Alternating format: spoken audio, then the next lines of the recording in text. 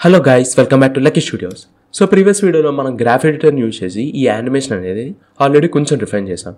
ఈ వీడియోలో మనం ఇంకా దీన్ని కొంచెం బెటర్గా క్రియేట్ చేద్దాం. So let's get started so ఇప్పుడు కనుక మన యానిమేషన్ మనం జనరల్లీ ఇక్కడ ప్లే చేసి చూస్తున్నాం. సో ఆల్ట్ వి ప్రెస్ చేసి సో ఈ విధంగా మనం ప్లే చేసి చూసుకుంటున్నాం. రైట్ కానీ ఇంతకన్నా మనం దీన్ని ఒక వీడియో ఫైల్ కింద ఎక్స్పోర్ట్ చేసుకుని ప్లే చేసుకుంటే మనకి ఇంకా బెటర్ రిజల్ట్ అనేది వస్తుంది. సో దీనికోసం మనం ఏం చేయొచ్చు అంటే సో ఇక్కడ టైం లైన్ మీద రైట్ క్లిక్ అండ్ దాని ఇక్కడ ప్లే బ్యాస్ట్ అని ఉంది కదా సో ఈ ఆప్షన్ సెలెక్ట్ చేసుకోవచ్చు. లేదనుకుంటే సో సేమ్ ఇదే ఆప్షన్ మనకి యానిమేషన్స్లో వెళ్తే సో ఇక్కడ కూడా ఉంటుంది. ఓకే సో ఇది కనుక మనం క్లిక్ చేసాం అనుకోండి సో మనకి మన యానిమేషన్ మొత్తం కూడా ఒక వీడియో ఫైల్లో వస్తుంది. ఓకే సో ఇక్కడ మనం దీన్ని అన్సెలెక్ట్ చేద్దాం. అండ్ దెన్ సో ఇప్పుడు దీన్ని ఇంకొకసారి స్పేస్ బార్ క్లిక్ చేస్తే మనకి డైరెక్ట్గా ఈ వ్యూలోకి వెళ్తుంది. ఓకే సో ఇప్పుడు మనం మళ్ళీ ఇంకోసారి దీన్ని ప్లే బ్లాస్ట్ చేద్దాం. సో ఈ విధంగా మనకు ఒక ఎంఓవి ఫైల్ అనేది క్రియేట్ అవుతుంది. సో దీన్ని యూజ్ చేసుకుని మనం మన యానిమేషన్ అనేది ఎలా వచ్చిందో ప్లే చేసి చూసుకోవచ్చు. అండ్ అదేవిధంగా ఈ ప్లే బ్లాస్ట్ సెట్టింగ్స్ కూడా మనం రైట్లీ అండ్ దాన్ని ఇక్కడ నుంచి సో దీని మీద క్లిక్ చేసి సో మనం ఇక్కడ దీని యొక్క ఫార్మాట్ అండ్ కోడింగ్ సో ఇది ఎక్కడికి సేవ్ అవ్వాలి సో ఇటువంటివన్నీ కూడా మనం ఇక్కడ మ్యానిపులేట్ చేసుకోవచ్చు.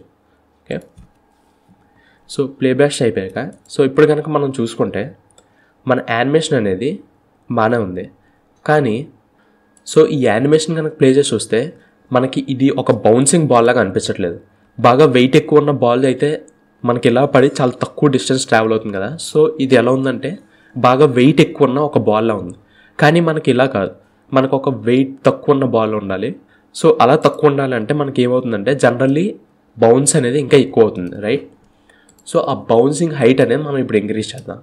సో స్పేర్ పర్ క్లిక్ చేయండి అండ్ దెన్ దీన్ని సెలెక్ట్ చేయండి. సో ఇప్పుడు మనకి వై ట్రాన్స్లేట్ అండ్ దెన్ ఇక్కడ ఈ కరువు ఉంది కదా. సో ఈ కరువుని మనం కొంచెం హైట్ ఇంక్రీజ్ చేద్దాం. సో షిఫ్ట్ హోల్డ్ చేసి మిడిల్ మౌస్ బటన్ ప్రెస్ చేసి సో పైకి తీసుకెళ్ళండి. సో అరౌండ్ ఈ రీజన్కి ఓకే. అండ్ దెన్ మళ్ళీ సో ప్రీవియస్ వీడియోలో చూసినట్టు మనం ట్యాంజెంట్స్ని అడ్జస్ట్ చేయాలి. ఓకే అండ్ దెన్ ఇదే విధంగా మనం ఇప్పుడు ఏం చేయొచ్చు అంటే సో ఈ బాల్ అనేది మనకి ఇదే హైట్లో కొంచెం స్లో డౌన్ అయ్యేలా చేయాలి. సో మనం దీనికి సంబంధించిన ట్యాంజెంట్ సెలెక్ట్ చేద్దాం. అండ్ దెన్ ఇప్పుడు షిఫ్ట్ హోల్డ్ చేసి కనుక మనం డ్రాగ్ చేసాం అనుకోండి సో మనకి ఆ ట్యాంజెంట్స్లో ఎటువంటి మూమెంట్ అనేది లేదు రైట్? సో మనం ఫస్ట్ ఆఫ్ ఆల్ ఈ ట్యాంజెంట్స్ని కూడా మనం దీన్ని మార్చుకోవచ్చు. సో సెలెక్ట్ చేసి and then curves and then లాస్ట్లోకి వచ్చేసరికి వెయిటెడ్ ట్యాంజెంట్స్ అని ఉంటుంది. So weighted tangents option enable చేయండి. సో ఇప్పుడు కనుక చూసుకుంటే మీకు ఈ ట్యాంజెంట్స్ యొక్క ఎండింగ్లో బాక్సెస్ అనేవి వచ్చాయి రైట్?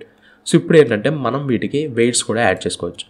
సో ఇప్పుడు మనం ఈ ట్యాంజెంట్స్ సెలెక్ట్ చేసుకున్నాం కదా. సో ఇప్పుడు షిఫ్ట్ హోల్డ్ చేసి సో ఈ విధంగా మనం వీటిని ఎక్స్టెండ్ కూడా చేసుకోవచ్చు. సో స్లైట్గా ఎక్స్టెండ్ చేయండి. సో దట్ ఇప్పుడు ఏమవుతుందంటే మనకి బాల్ అనేది పైకి వెళ్ళే కొద్దీ స్లో అవి మనకు ఎయిర్లో కొంచెం ఎక్కువసేపు ఉంటుంది. అండ్ దెన్ మళ్ళీ మన గ్రౌండ్కి రీచ్ అవుతుంది. ఓకే సో ఈ విధంగా మనం దీన్ని అడ్జస్ట్ చేసుకోవచ్చు. అండ్ అదేవిధంగా మనకి ఉన్న ఇంకొక షార్ట్ కట్ ఏంటంటే సో ఇక్కడైతే మనకి బార్ ఉంది టైం బార్ ఉంది రైట్ కానీ ఇక్కడ మనకు టైం బార్ లేదు. సో ఇటువంటిప్పుడు మనం ఏం చేయొచ్చు అంటే సో కే హోల్డ్ చేసి ఇప్పుడు మనం మిడిల్ మౌస్ బటన్ హోల్డ్ చేసి మనం డ్రాగ్ చేయొచ్చు.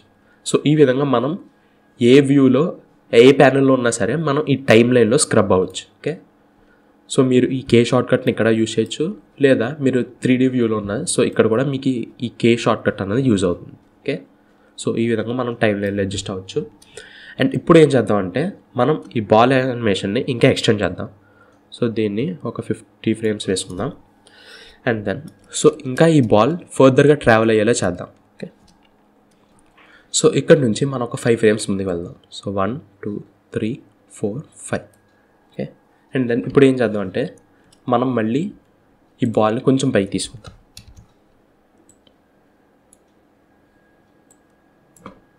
అండ్ దెన్ ఇక్కడ ఒక కీ ఫ్రేమ్ వేద్దాం. So shift W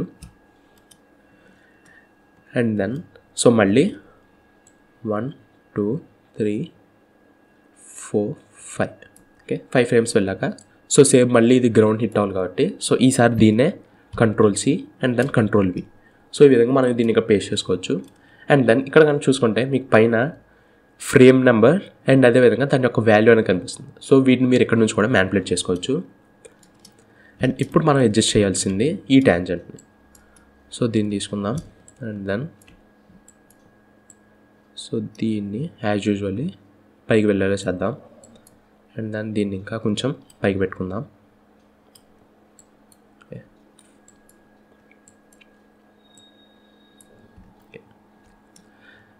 బట్ ఇక్కడ కనుక చూసుకుంటే మనకి ఈ సెకండ్ అండ్ అలాగే థర్డ్ బౌన్సెస్ అనేవి సేమ్ రేషియోలో ఉన్నాయి రైట్ సో మనకి బాల్ అనేది ఈ వేలో ట్రావెల్ అయ్యే కొద్దీ వాటి యొక్క ఎనర్జీ అనేది కోల్పోతుంటుంది. సో అటువంటప్పుడు మనకి ఇంత డిస్టెన్స్ అనేది ట్రావెల్ అవుతుంది కదా. సో మనం ఏం చేయాలంటే ఈ కీ ఫ్రేమ్స్ని కొంచెం ముందు తెచ్చుకోవాలి.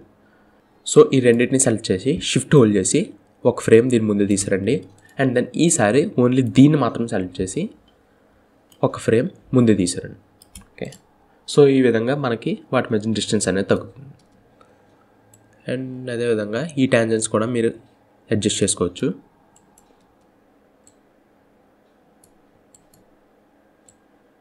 ఓకే. సో ఈ విధంగా ఒకసారి యానిమేట్ అయింది. అండ్ దెన్ ఇంకొకసారి కూడా మనం దీన్ని యానిమేషన్ చేద్దాం. సో ఈసారి త్రీ త్రీ ఫ్రేమ్స్ వేద్దాం. One two three. And then ఇప్పుడు మళ్ళీ దీన్ని కొంచెం హైట్ పెడతాం. Shift W. అండ్ దెన్ మళ్ళీ వన్ టూ త్రీ. సో ఇప్పుడు మళ్ళీ ఇదే key ఫ్రేమ్ని copy and then paste. Okay. And then మళ్ళీ దీన్ని అడ్జస్ట్ చేద్దాం.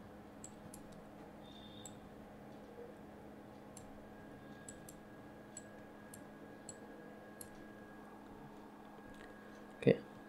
సో ఈ విధంగా మనం దీన్ని యానిమేషన్ అనేది చేసాం. బట్ ఇక్కడ కనుక చూసుకుంటే మీకు ఈ బాల్ అనేది ఒకే పొజిషన్లో మీకు బౌన్స్ అవుతుంది రైట్? సో ఇది ఎందుకంటే మీకు ఆల్రెడీ అర్థమై ఉంటుంది. ఇక్కడ మనం జీ ట్రాన్స్లేట్లో మనకి ఇక్కడ ఎటువంటి కీ ఫ్రేమ్ అనేది లేదు ఓకే? సో మనకి ఇక్కడ కీ ఫ్రేమ్స్ అనేవి స్ట్రైట్గా పడ్డాయి. సో ఇప్పుడు మనం ఏం చేయొచ్చు అంటే వీటిని డిలీట్ చేసేయచ్చు. సో ఇక్కడ లాస్ట్లో మనకు ఉన్నది ఫార్టీ వన్ ఓకే సో ఇప్పుడు మనం వీటన్నిటిని డిలీట్ చేయొచ్చు. అండ్ దెన్ ఇప్పుడు మనకి ఈ యాంగిల్ ఏదైతే ఉందో సో ఇదే డైరెక్షన్లో మనకి ఎగ్జాక్ట్గా కీ ఫ్రేమ్ అనేది రావాలి. రైట్ సో దీన్ని మనం ప్రొజెక్ట్ కూడా చేయొచ్చు.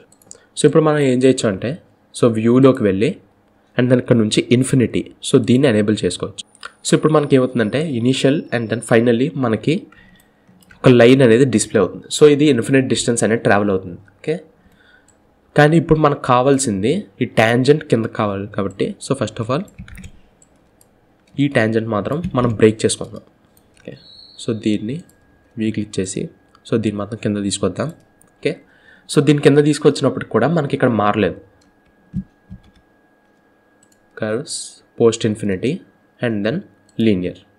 So ఇది సెలెక్ట్ చేశాక మనకి ట్యాంజెంట్ ఏదైతే వేలో ఉందో సో అదే వేలో మీకు ఈ లైన్ అనేది వస్తుంది. సో ఇప్పుడు మనం ఏం చేయొచ్చు అంటే లాస్ట్ కీ ఫ్రేమ్ ఎక్కడ? Forty one.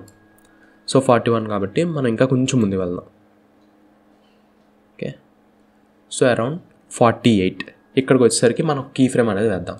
సో జీ ట్రాన్స్లేట్కి రైట్ లే అండ్ దాని ఇక్కడ నుంచి కీ సెలెక్టెడ్. సో ఇప్పుడు మనం జెడ్ యాక్సిస్కి ఒక కీ ఫ్రేమ్ అనేది వేస్తాం అండ్ దాన్ని ఇక్కడ కనుక చూసుకుంటే మనకి ఈ స్లోప్ అనేది ఈ విధంగా ఉంది. బట్ మనకి ఇది సరిపోతుంది. ఎందుకంటే సో ఆటోమేటిక్గా ఇప్పుడు ఏమవుతుందంటే బాల్ అనేది స్లోగా వచ్చి మనకు ఫైనల్గా ఈ పాయింట్కి వచ్చేసరికి సెటిల్ డౌన్ అవుతుంది. ఓకే సో ఇందుకోసమే నేను దీన్ని లీనర్ చేయకుండా సో సేమ్ ఈ కరువును అలా బీజార్ కరు కింద వదిలేస్తున్నాను. ఓకే సో దీంతో మన యానిమేషన్ అంతా కూడా సెట్ అయిపోయినట్టు. సో ఇప్పుడు మనం మళ్ళీ స్పేస్ బార్ హిట్ చేసి ఇంకొకసారి ప్లే బ్లాస్ట్ చేసి చూద్దాం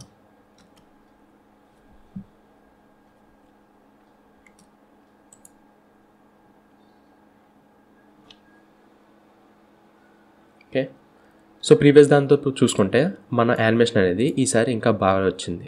ఓకే అండ్ అదేవిధంగా మన యానిమేషన్లో మనం కరెక్ట్గా ఉన్నామా లేదా అని చూసుకోవడానికి మనకు ఇంకొక మెథడ్ కూడా ఉంది. సో అది ఏంటంటే గోస్ట్ బటన్స్ సో ఇప్పుడు మీరు పైన ఈ రెండు ఐకాన్స్ కనిపిస్తున్నాయి కదా సో ఇది కనుక క్లిక్ చేశారనుకోండి ఇందులో మూవ్ అయ్యే కొద్దీ సో ఏమవుతుందో చూడండి. సో మీకు ఆ యానిమేషన్ ముందున్న ఫ్రేమ్స్ అండ్ అలాగే నెక్స్ట్ ఉన్న ఫ్రేమ్స్ని బట్టి సో మనకి ఆటోమేటిక్గా బాల్స్ అనేది ఇక్కడ రిసెంబుల్ చేస్తుంది. ఓకే సో ఈ విధంగా మన యానిమేషన్ పర్ఫెక్ట్గా ఉందో లేదో మనం చెక్ చేసుకోవచ్చు. ఓకే సో ఇక్కడ వీటి మధ్య స్పేసింగ్ కనుక చూసుకుంటే సో ఇనీషియల్లీ ఇక్కడ ఉన్న ఈ పొజిషన్లో ఉన్నప్పుడు మనకి స్పేసింగ్ తక్కువ ఉంది. అంటే మనకి ఇక్కడ ఇనీషియల్గా స్పీడ్ అనేది తక్కువ ఉంది. కానీ ఇలా ఇంక్రీజ్ అయ్యే కొద్దీ మనకి వీటి మధ్య స్పేసింగ్ ఎక్కువైంది. అంటే దాని యొక్క స్పీడ్ అనేది ఇంక్రీజ్ అవుతూ వచ్చింది. సో మళ్ళీ మనకి ఇక్కడ ఎంత స్పీడ్తో అయితే హిట్ అయిందో సో మళ్ళీ అంతే స్పీడ్తో మళ్ళీ మనకు బౌన్స్ బ్యాక్ అవుతుంది. సో ఆ యానిమేషన్ అనేది మీరు ఇక్కడ వీటి మధ్య వచ్చే స్పేసింగ్ ఉంది కదా ఆ స్పేసింగ్ని బట్టి మీరు డిటర్మైన్ చేయొచ్చు. సో మళ్ళీ టాప్ పొజిషన్కి వెళ్ళేసరికి ఏమైందో చూడండి. సో వీటి మధ్య స్పేసింగ్ అనేది చాలా తక్కువ ఉంది. అంటే మనకి టాప్ వెళ్ళే కొద్దీ దాని యొక్క స్పీడ్ అనేది తగ్గింది. ఓకే? సో ఈ విధంగా మనం ఈ స్పేసింగ్ బట్టి మన యానిమేషన్ ప్రిన్సిపల్స్ కరెక్ట్గా ఉన్నాయా లేదా అనేది కూడా మనం ఇక్కడ చూసుకోవచ్చు. సో వన్స్ మనకి ఇది కరెక్ట్గా ఉంది అనిపించాక సో మళ్ళీ ఈ ఆబ్జెక్ట్ సెలెక్ట్ చేసి మనం ఈ బటన్ క్లిక్ చేస్తే మనకి గోస్టింగ్ అనేది డిసేబుల్ అయిపోతుంది. సో గైస్ ఈ విధంగా మనం యానిమేషన్ అనేది ఇంకా కొంచెం బెటర్గా చేసాం బట్ ఇంకా మనం చేయాల్సిన ఇంకొక ఫిక్స్ ఏంటంటే సో ఈ బాల్ యూజువల్లీ గ్రౌండ్ హిట్ అయినప్పుడు పైకి వచ్చినప్పుడు సో మనకి ఇది కంప్లీట్గా రౌండెడ్గానే ఉంది. కానీ మనం యూజ్ చేసే జనరల్గా మనం యూజ్ చేసే బాల్స్ ఏమవుతాయి అంటే గ్రౌండ్ హిట్ అయినప్పుడు అవి కొంచెం స్క్వీజ్ అవుతాయి అండ్ అదే విధంగా మళ్ళీ పైకి వెళ్ళే కొద్దీ స్ట్రెచ్ అవుతాయి రైట్ సో నెక్స్ట్ వీడియోలో మనం squeeze and then stretch. So ఈ యానిమేషన్స్ ఎలా చేయాలో నేర్చుకుందాం. So see in the next video bye